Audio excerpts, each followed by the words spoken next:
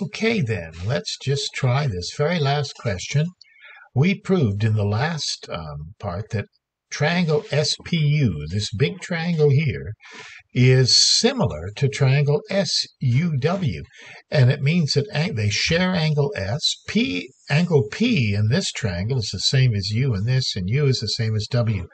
You don't have to look at the picture to be able to do this question. Now they want us to use this is actually pretty easy because we want to use S and U and SP and SW. So you just start because they're similar, they are proportional. You can match them up.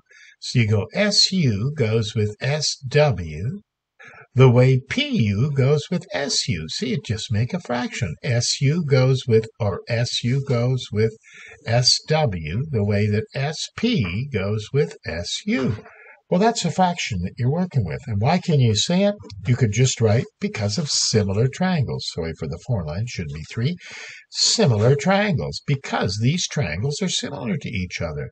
And oh, now it's just a matter of a little bit of arithmetic where you multiply both sides by SU and SW, and it cancels and it comes up here, and the SU comes up here, and you get what you were trying to prove.